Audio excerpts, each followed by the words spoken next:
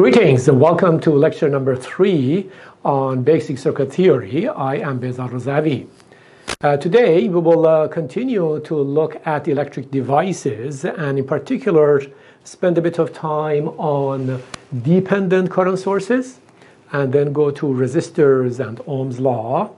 And that will prepare us for the concept of uh, IV characteristics uh, which are critical in our studies of many different types of devices in this course and in the future. But before we go there, let's uh, take a quick look at what we covered in the last lecture. So what we saw was that uh, uh, we talked about electric devices such as wires, switches, independent and dependent voltage sources, and current sources. And uh, in particular, we saw that a voltage source is a two terminal device that uh, can deliver any current uh, and maintain its voltage. So the current can be positive or negative, and uh, if it's an ideal voltage source, it wants to enforce this voltage in all conditions. For a current source, on the other hand, we saw that it wants to push a certain amount of current regardless of the voltage that we develop here.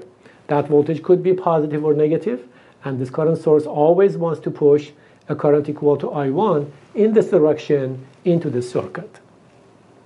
Uh, it's important to understand that neither this nor this uh, satisfies Ohm's law. Ohm's law relates the current and voltage over resistance. So these two do not satisfy that because they can have an arbitrary current here or an arbitrary voltage here. All right, we also saw this equivalence, which is uh, critical in our understanding for the future.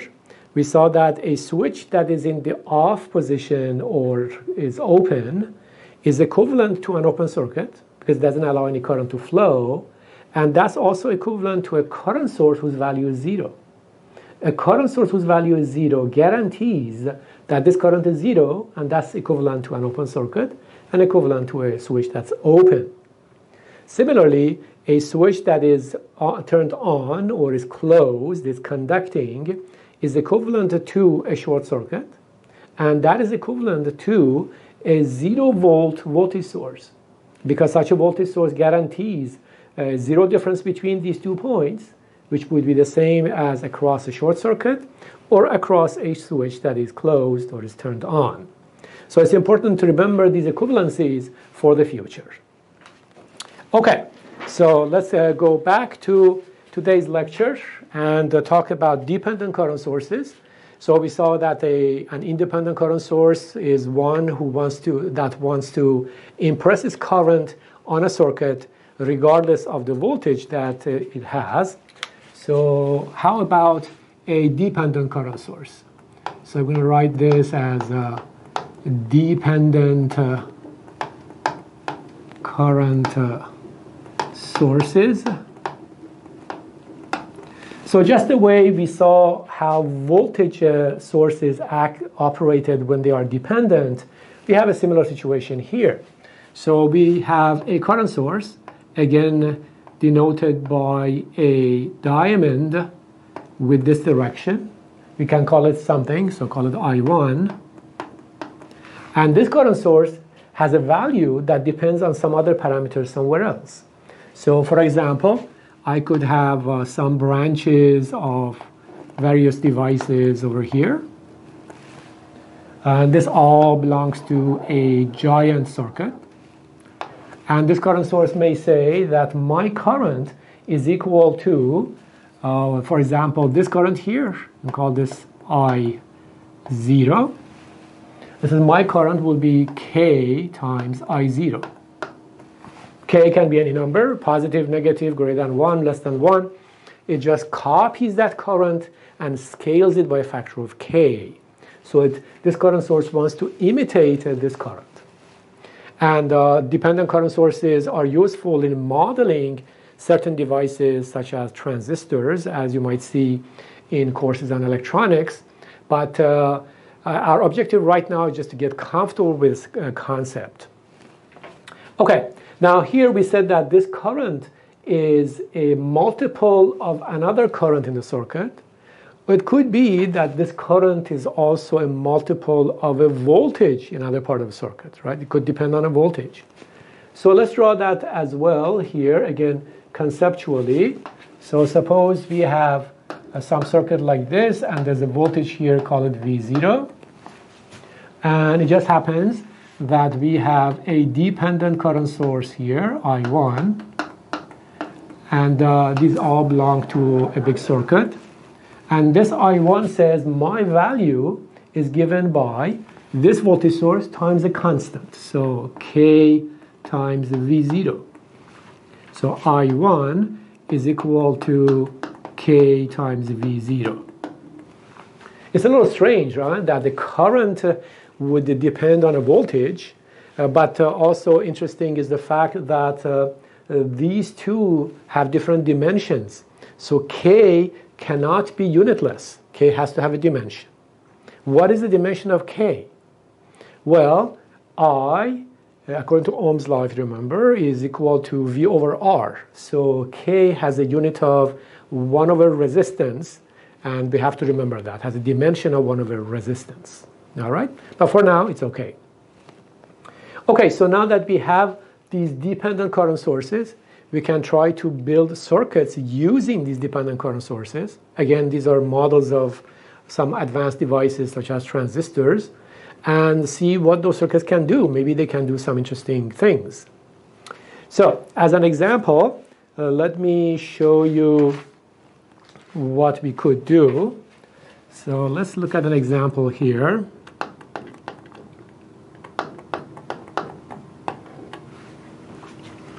Okay, so I have, uh, I will build a circuit like this.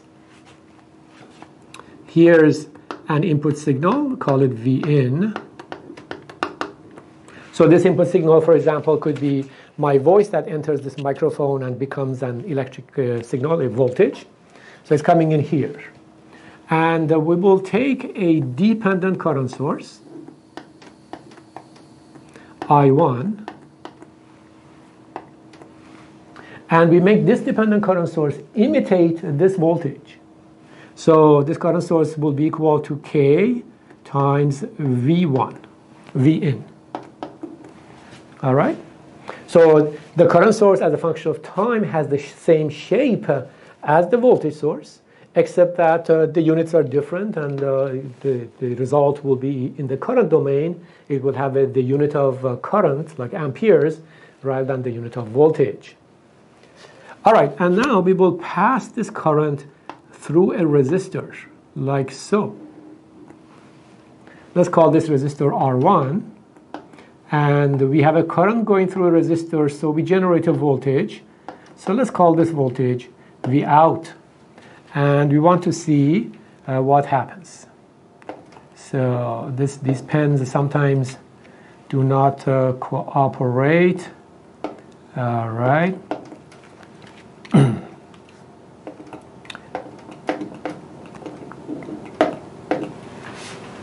Okay, so very simple, right? I have a voltage coming from a microphone. I made a current source that is dependent upon that voltage by a coefficient of K. I let the current flow through R1. I would like to see how much V out I get.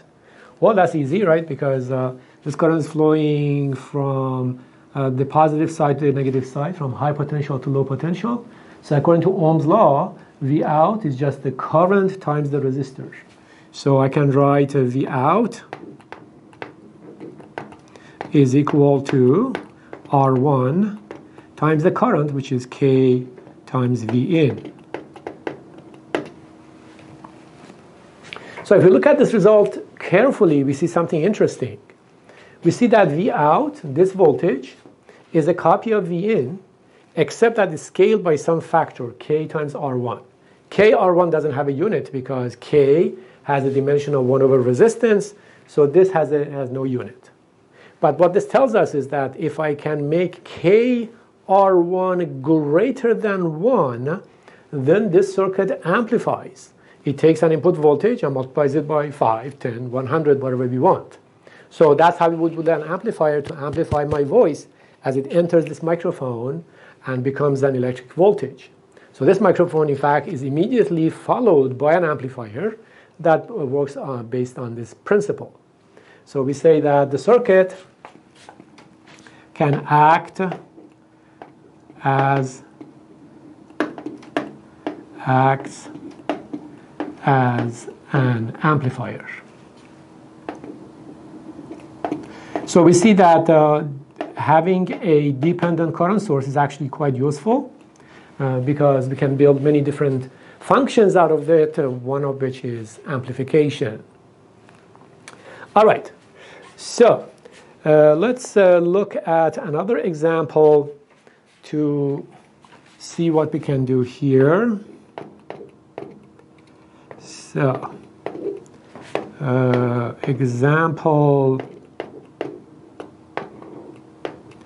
So in this case, I am going to take a voltage source. So call it Vx. And I will apply that to a dependent current source, I1. Okay? And I will make this current source just proportional to this voltage. So K times V in. You see the difference between these two cases? Here the voltage was between these two terminals and the current was generated and pushed through this resistor. Here, the voltage between these two terminals, and this current is generated like before, except that it's connected to the same voltage source, not to a different place, different port, different terminals. So we just want to see what this is. Uh, sorry, this should be KVX. We just want to see what this is. Does this do something interesting? Uh, uh, what type of operation do we have? So in fact, let's try to do something simple let's try to plot ix as a function of vx. Right? Very simple. So vx goes from minus infinity to plus infinity, and I would like to plot ix as a function of vx. So what does it look like? All right, well, uh, what we know is that uh, ix as a function of vx uh, can actually be expressed as, uh, as you can see here, Ix is the same current as the current of uh, I1. So I can say that Ix is equal to KVX. That's all this dependent current source is doing. It's trying to draw a current from this voltage source proportional to this voltage source. The proportionality factor is K. All right, so if you plot this, you just get a straight line. Does this result remind us of anything that we know? Yes, it looks like a resistor, right? For a resistor, we have I is equal to V over R. So here we have I as a function of V, it's a straight line. So I can say that uh, uh, Ix is equal to Vx over some R, some equivalent R, Req. That's how it would look for a resistor of value Req. And how much is Req? If I just compare this with this, I see that Req is nothing but Req is equal to K, 1 over K. So, weird but true. Uh, this little circuit here acts like a resistor. Is that useful, not useful? Well, it depends. It depends on what we're doing. Sometimes it is actually useful.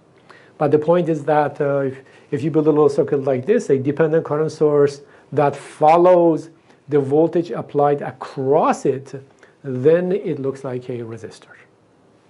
All right. Okay, so let's see what else we can do here.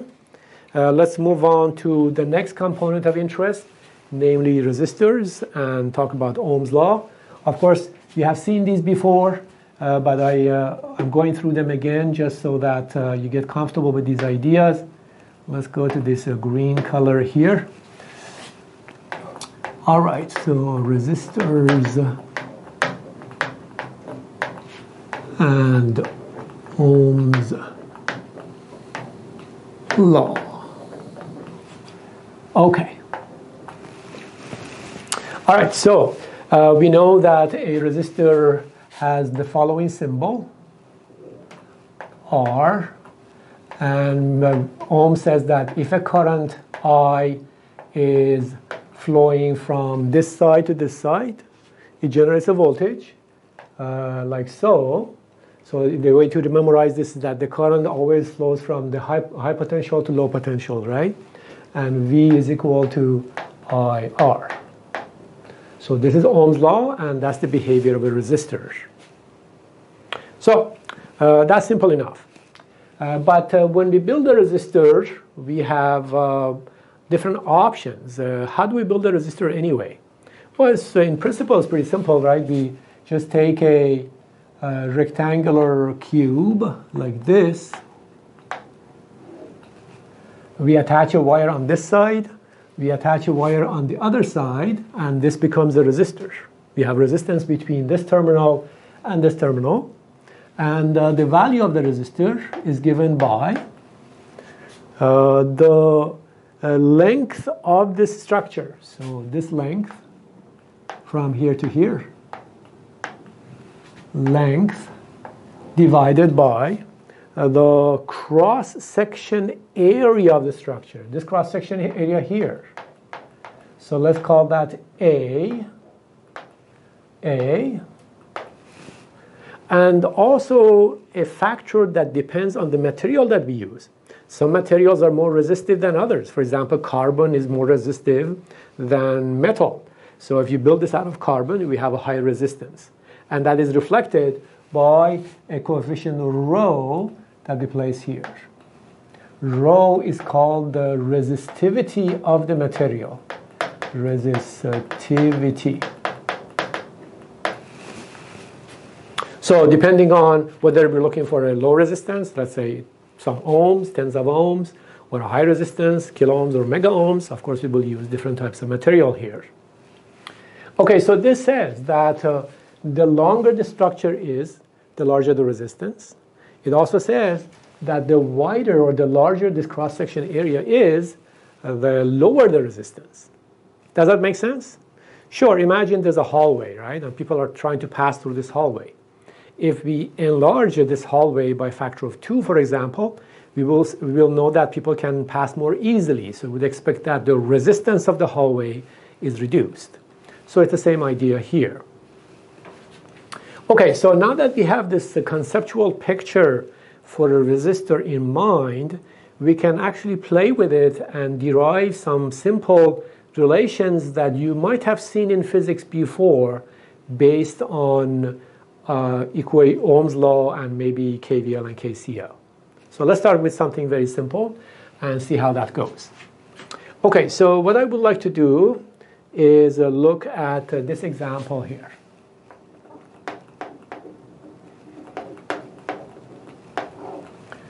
So we ask what happens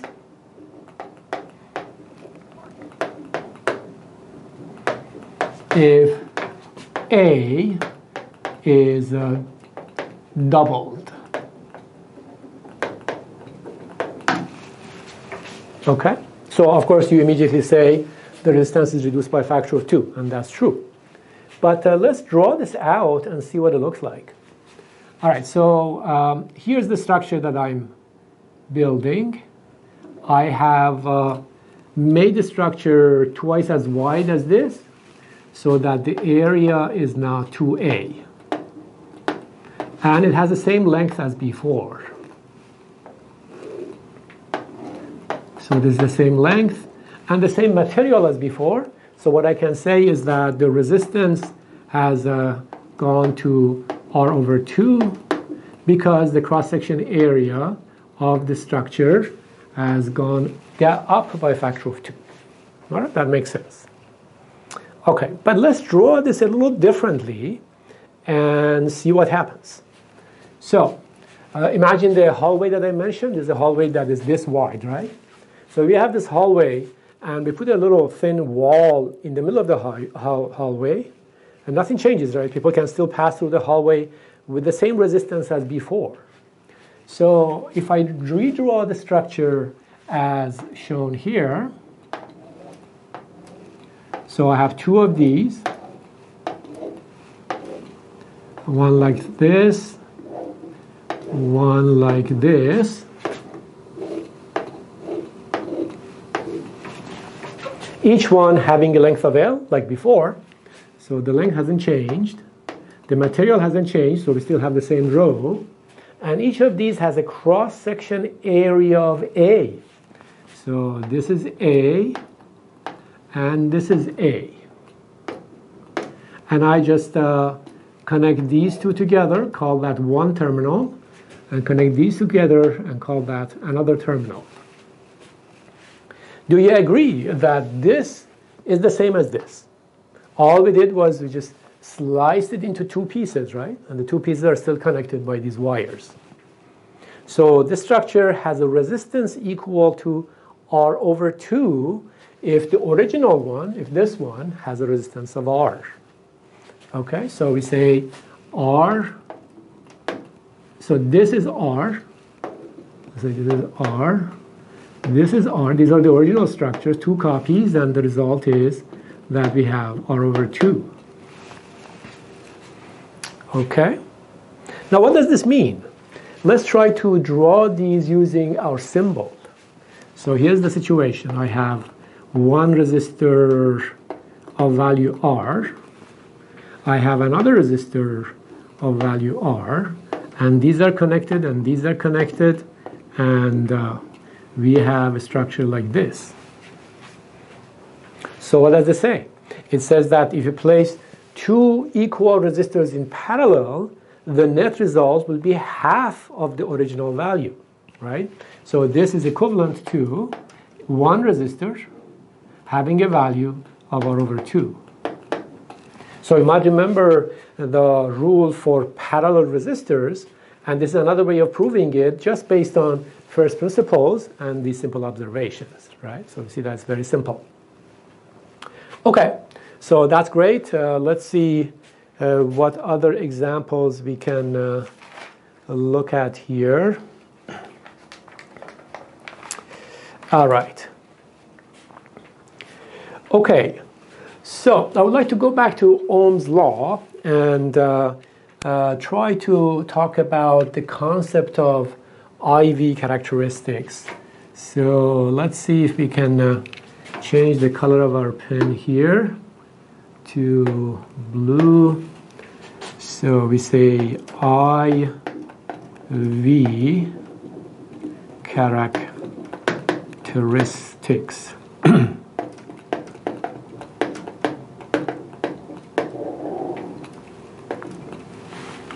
okay, so for resistor, we have this equation, V equals IR. Uh, so I can say that V is equal to IR. Or I can say I is equal to V over R. So, uh, there are two ways of looking at the, a resistor. One is I push a current through the resistor and I get a voltage. This is the cause, this is the effect. Another is to say I apply a voltage across the, across the resistor and I get a current. This is the cause, this is the effect. So depending on which one we consider the cause and which one we consider the effect, we can plot the effect as a function of the cause. So let's go ahead and do that. So for this equation, what's happening is this. I have a resistor and I am pushing a current through it. How do I push a current through a resistor? Well, maybe put a current source, right? So we put a current source here. I this current flows this way through the resistor, just like, just like before, generating voltage equal to V. And now I can try to vary I from minus infinity to plus infinity and plot V as a function of I, just like that. So that would be something like this. So we have V as a function of I I is the cause, V is the effect. I is the input, V is the output, right? So, and that gives us a simple line like this, the slope of which is R. Okay? All right, this is a characteristic that uh, just graphically shows this equation, right? Very simple. Now, how about this guy? How do we do that? So there the cause is the voltage and the effect is the current. So maybe what we should do is we come in with a voltage source like so, V, apply to a resistor and measure the current that flows. So in this case, the input is the voltage and the output of interest is the current. So again, I can plot this as a function of this. So that would be I as a function of V. And this is also a straight line, except that the slope of this line is 1 over R, as we can see from this equation here. All right? So these two are what we call IV characteristics. Of course, they have the same information and nothing beyond what this equation or this equation tell us, right? But it's a good visualization of uh, what uh, this uh, relationship means. So we often rely on these types of uh, plots in analyzing various devices, and these become more important as you go to more complex devices such as transistors, etc., in your future courses. Okay, so uh, now that we have a sort of a definition for IV characteristics, we can say uh, they don't have to be applied only to resistors, right? Can we apply them to other two-terminal devices? For example, a current source or a voltage source, right? Those are legitimate two-terminal devices. So let's try to do that. Let's try to go to the next page here and see what we can do. Okay, so we're going to go over another example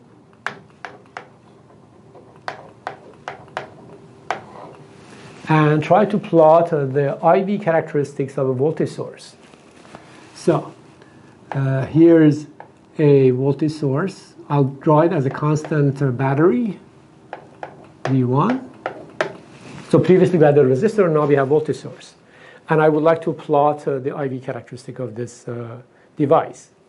So what should I apply here? For the resistor, we had the options of applying a voltage or applying a current. Here we really don't have those two options. If I apply a voltage source here, a voltage source fighting a voltage source makes no sense. We can't do that. We get an infinite current here. So I have to apply a current source. So my job is to apply a current source here, call it Ix, and uh, measure the voltage that this current source generates, Vx, and plot Vx as a function of Ix right? So the input is Ix and the output is Vx, or the cause is Ix and the effect is Vx. And we'd like to plot that. What does it look like? Well, uh, because Vx is equal to V1 under all conditions, right? Uh, a good voltage source says, I want to keep this voltage regardless of how much current you pass through it, right? It could be current, a high current going this way or that way, it doesn't matter, right? It always wants to maintain this voltage. So it's very simple actually. What we get is this. So the voltage or the output of interest as a function of the current or the input of interest is constant. All right? It's a little weird, right? That we have a VI characteristic that has a slope of zero. But that's what a current source does. And that's what a voltage source does. A voltage source wants to maintain the same voltage, this voltage, regardless of the current that we pass through it. All right, so that's the VI characteristic of this voltage source. So if I put this in a black box and I give it to you, and you do this measurement, you come back and say, yes, what I have in the black box is an ideal constant voltage source equal to this much right? That's the uh, battery that we have inside the black box. Okay, so let's look at another example in the same vein and uh, see what we can do there.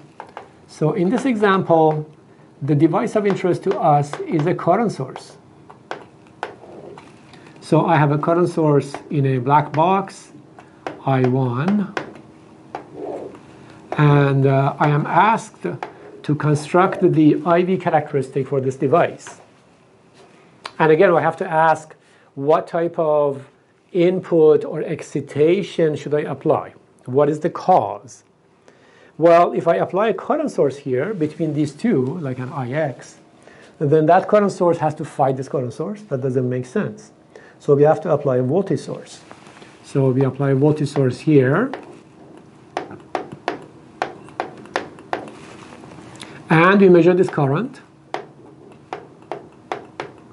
And we say this is the cause, this is the effect. I'm going to try to plot the effect or the output as a function of the cause or the input. Okay, so well, it just happens that in this case, Ix is just equal to I1, right? Ix is equal to I1. I1 is a constant current source. It always wants to maintain that current. So what we end up with is very simple. We have Ix as a function of Vx. Ix is always constant, so we end up with this equation, this type of behavior. All right, so that's interesting. We see that uh, uh, a voltage source has a VI characteristic with a slope of zero. A current source has an IV characteristic with a slope of zero. Do these satisfy Ohm's law? Not really, right? Ohm's law was always a straight line passing through the origin, right? Neither of these passes through the origin. So we can't really associate Ohm's law to current sources or voltage sources. But we can try to plot their IV or VI characteristics. So we can see that the concept of IV and VI characteristic is more general than Ohm's law, right? It can be applied to any two-terminal device that we have. Okay. All right. Uh, following Ohm's law, we also need to understand one more point. So uh, let's write it like this. Application of uh, Ohm's law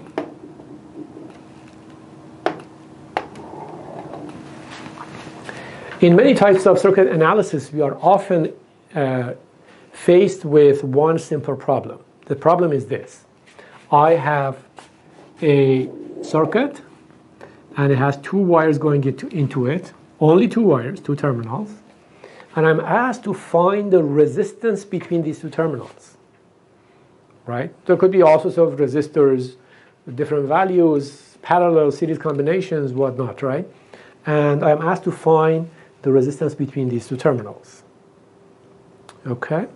Now I could try to simplify whatever I have in here based on my knowledge of how parallel resistors combine and how series resistors combine. But sometimes that's not even possible. So we need a general procedure for finding the resistance between these two wires. And the procedure is actually very simple. The procedure is always like this. We apply a voltage source called Vx. We uh, measure the resulting current, Ix, and we say the equivalent resistance between these two points is equal to Vx over Ix. And you might note that that would be the slope of V versus I as well, right? If you remember from uh, our previous uh, IV characteristics, but that's a different point. Okay, so this allows us to find uh, the resistance between two wires going into any type of circuit, right? We can always construct a circuit, apply a voltage and measure the current, or you could apply a current source here and measure the voltage. It's the same thing. Again, V over I gives us that equivalent resistance. This comes in handy in the future when we get to, for example, uh, Thevenin and Norton theorems. All right, so uh, let's uh, look at another example here. Okay, so let me change the color of my pen to blue.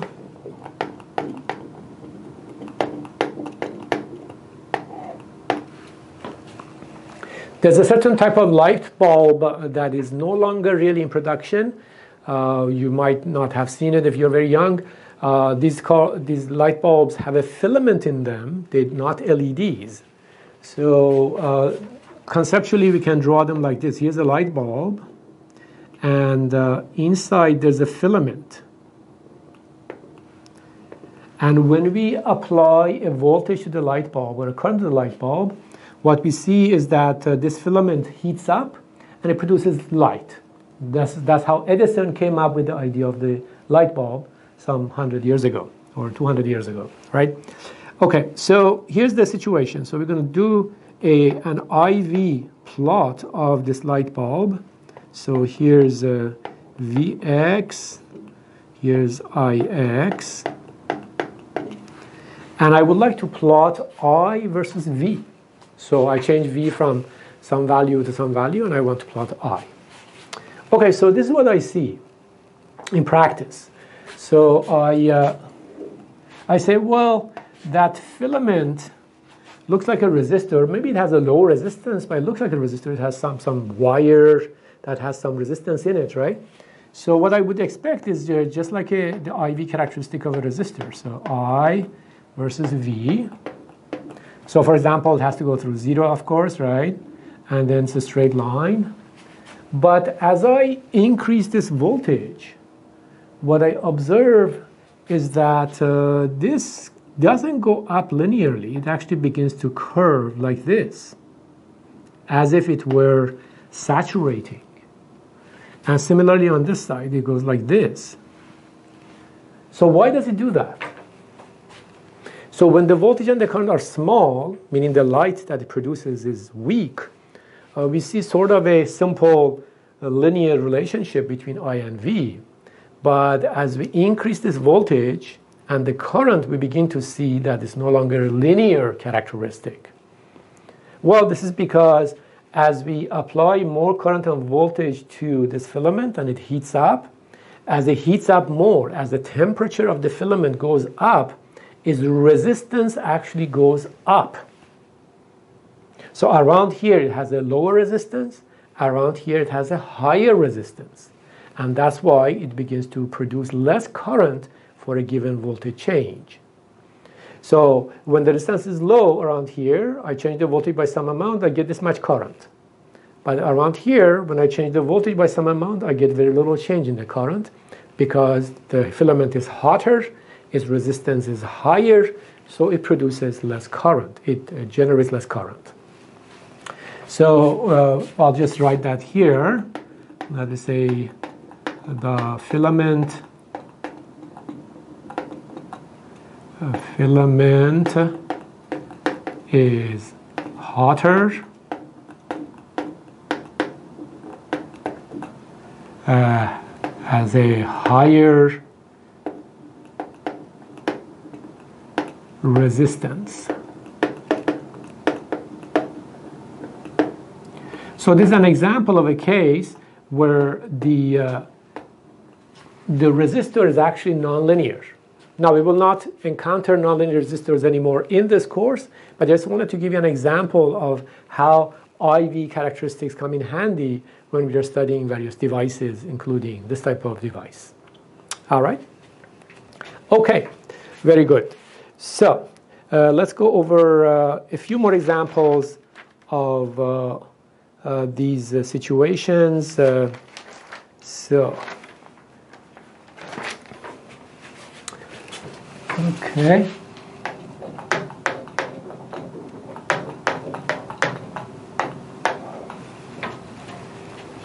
All right, so uh, let's uh, talk about uh, applications of uh, Ohm's law in this case and try to find the resistance. So we say find the equivalent resistance of uh, this uh, this topology.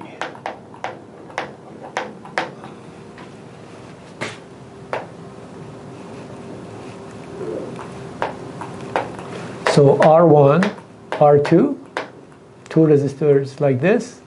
We call this a series combination, and we would like to know what the equivalent resistance is. So if I put this in a black box, and I say this box has only two terminals, like so, how much is the resistance of this box? Okay, so we follow the procedure. We apply Vx, and we measure Ix. Or you can apply a current source and measure the voltage. It's the same thing. The ratio is always V over I, according to Ohm's law, right? That's the resistance. Okay, so how do we do this? I have to find Ix in terms of Vx and R1 and R2. All right, well, this current comes in, it flows through R1. When a current flows through a resistor, Ohm's law says that we will generate a voltage. How much is the voltage? The voltage across this resistor from here to here. How much is that? Ohm's law says current times resistance. So let me change the color of my pen here to red. So this voltage will be Ix times R1, right? Ohm's law, current times resistance. How about the voltage across R2?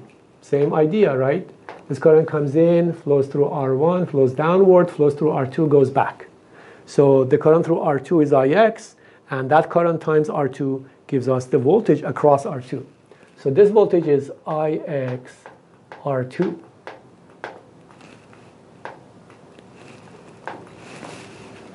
Okay? All right.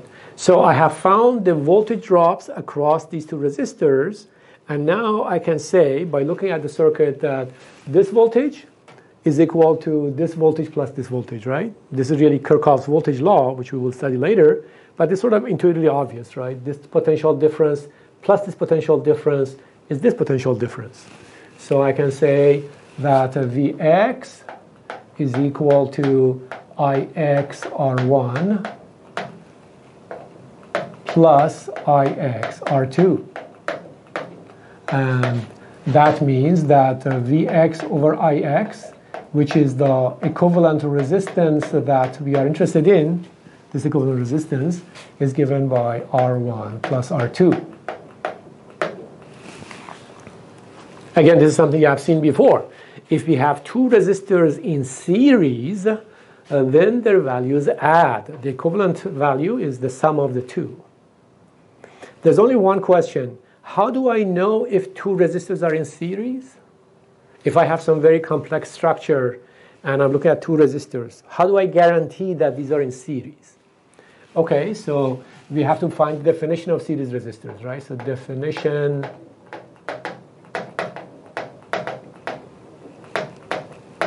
So we say two resistors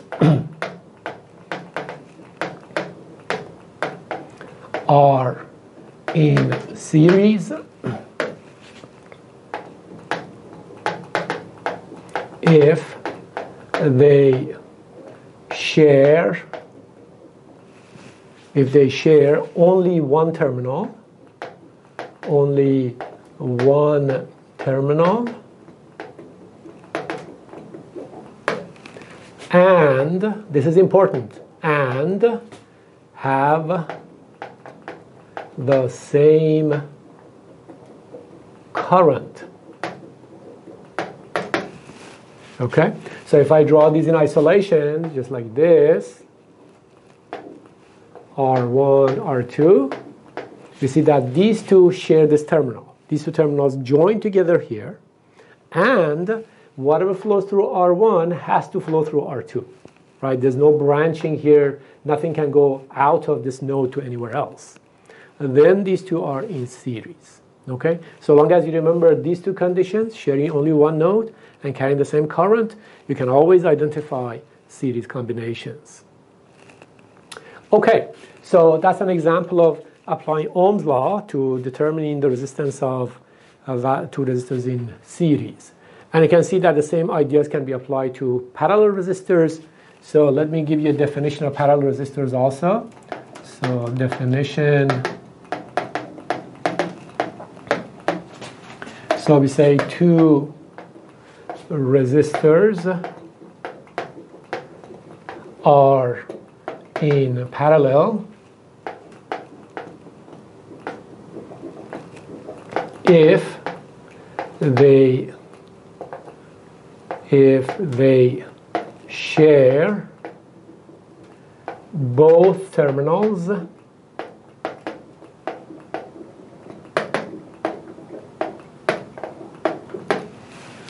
Really, that's all we need to say because if they do share both terminals, they automatically have the same voltage anyway. So that's uh, good enough for determining whether two resistors are in parallel or not. So here are two resistors in parallel. And what we see is that they share these two terminals, they share these two terminals. And because they're doing that, this voltage, the voltage across R1 and the voltage across R2 are equal. There's no other way. Uh, this wire guarantees that these two nodes are shorted. And this wire guarantees that these two nodes are shorted. So the voltage between these two points is zero. The voltage between these two points is zero. So the voltage across R1 is equal to voltage across R2. So if you want to be safe, you can always say share both terminals and have the same voltage but that comes automatically with sharing both terminals anyway. So these two definitions are critical to remember uh, because once we get to more complex circuits, it may not be straightforward to identify series or parallel resistors. All right, this concludes the lecture today. I will see you next time.